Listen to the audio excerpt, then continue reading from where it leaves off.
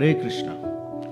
The Bhagavad Gita is an ancient philosophical classic which gives insights about God, life, spirituality, and happiness.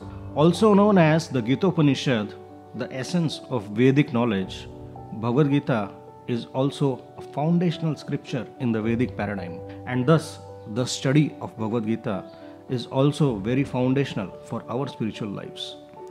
Bhagavad Gita offers the king of all knowledge known as Rajavidya that can be verified by direct personal experience.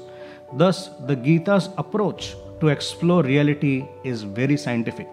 It presents theoretical propositions about the nature of reality, that we are not these bodies but souls, who have an eternal loving relationship with the all attractive and supreme person, Krishna.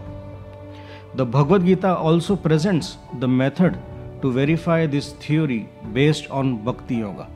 In this diploma course, we will be studying the overview of all the 18 chapters of Bhagavad Gita by A.C. Bhaktivedanta Swami Srila Prabhupada, the founder Acharya of the International Society for Krishna Consciousness.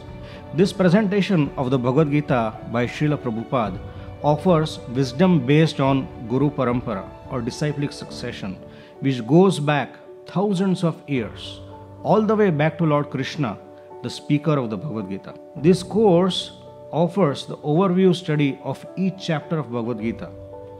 The structure and flow of Gita will be explained by giving connections between its chapters, subsections, and verses in a lucid manner. The Gita strengthened and provided solace to Arjuna in his worst crisis while facing the most important battle of his life. We invite all of you to experience the Gita, whose verses have the power to heal and thrill, as experienced by Arjuna himself. Hare Krishna.